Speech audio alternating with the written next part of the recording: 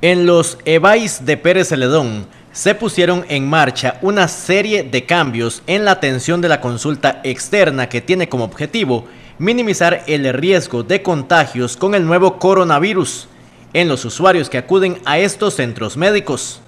Entre las medidas que se están aplicando en los EVAIS están fomentar la consulta indirecta de los pacientes con mayor riesgo de adquirir la enfermedad, Toda persona con enfermedades crónicas como diabetes, obesos, adultos mayores y portadores de enfermedades pulmonares crónicas que tienen una cita programada en los EVAIS y están bien de salud, pueden enviar a otra persona con la cédula del usuario a recoger las recetas y exámenes de laboratorio.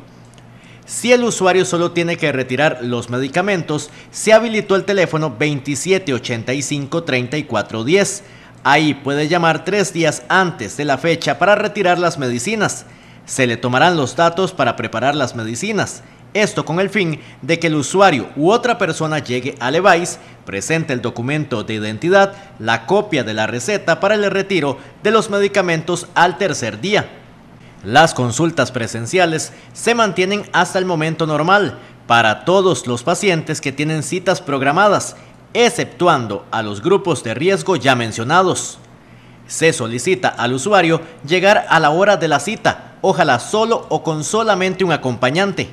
Si la persona está enferma y pertenece a algún grupo de riesgo, debe acudir al EVAIS para ser atendido y que no se vaya a complicar su estado de salud y deba trasladarse hasta el hospital.